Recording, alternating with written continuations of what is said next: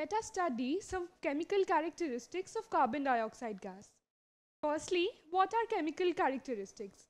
Well, these are those properties of a material which allows it to perform chemical reactions. So unlike physical properties which can be determined by simply viewing or smelling the substance, in chemical properties you need to perform certain reactions. So the chemical property of a material allows it to perform chemical reaction. Number second, the chemical property can only be determined when the chemical identity of the material is changed. So, suppose the substance reacts with water and forms something different. So, the chemical nature has been changed. So, it, it differs from the physical properties that is, it is not sensory, cannot be determined by viewing or touching or smelling the substance. See the, in this video, we insert a glass jar over a burning candle. Well, this glass jar contains carbon dioxide gas. As you can see, the burning candle gradually dies off. So, from this, we can infer that carbon dioxide is neither combustible nor a supporter of combustion.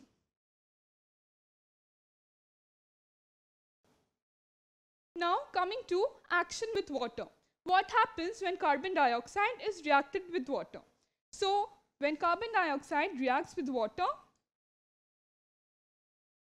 an acid called carbonic acid forms. So let us see this video. In this video, we are exhaling carbon dioxide gas in this solution.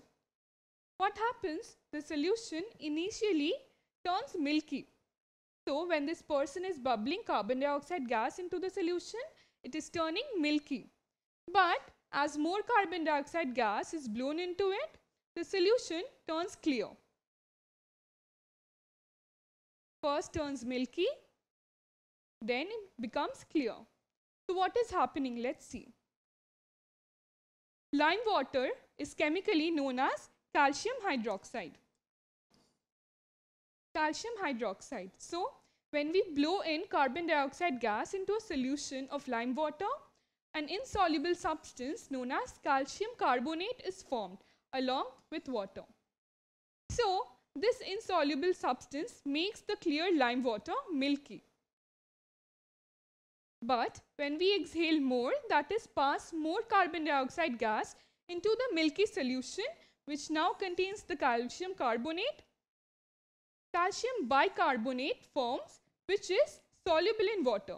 See, we have calcium bicarbonate as HCO3 minus, this is soluble in water, but in case of calcium carbonate, we had which turned the water milky.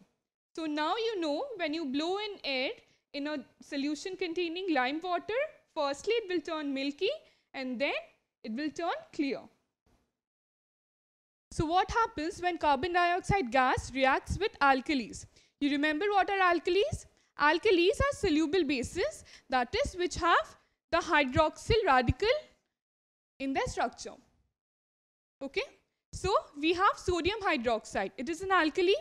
When it reacts with carbon dioxide, it forms the corresponding metal carbonate.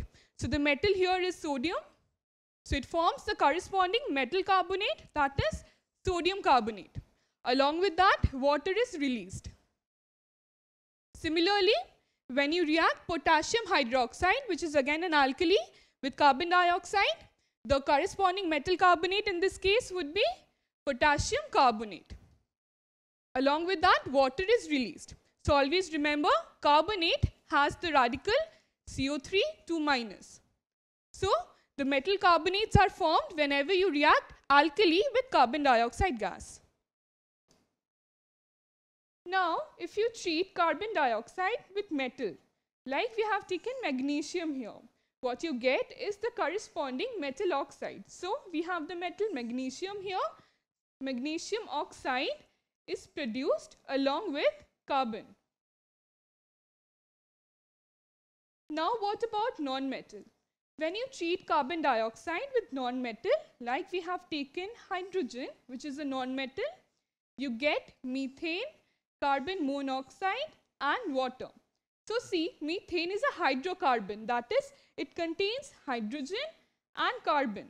So any compound having a combination of carbon and hydrogen are known as hydrocarbons and methane is one such example.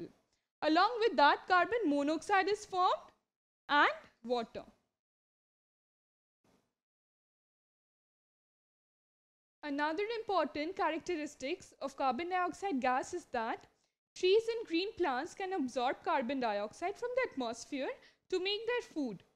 In order to do that, carbon dioxide is absorbed along with water in the presence of sunlight. So what happens? Green plants are taking up carbon dioxide from the atmosphere, taking water from the roots and in the presence of sunlight, in the green plants, they have a pigment called chlorophyll.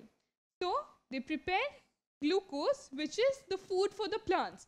Glucose is nothing but a sugar molecule. So along with the food, oxygen is evolved.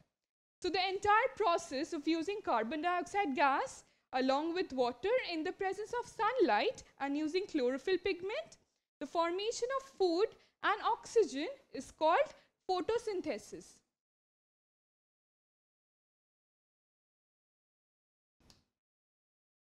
So let us summarize the various chemical properties of carbon dioxide gas. Carbon dioxide gas is non-combustible, neither it supports combustion. So when you introduce a burning candle in a jar of carbon dioxide gas, the burning candle dies off. So carbon dioxide is neither combustible nor does it support combustion. Now carbon dioxide gas react with water to form carbonic acid. Carbon dioxide also react with lime water. What is lime water? Lime water is calcium hydroxide So carbon dioxide react with lime water to first turn it milky. It turns milky due to the formation of calcium carbonate. Then when excess of carbon dioxide is passed in the milky solution, the solution turns clear due to the formation of calcium bicarbonate.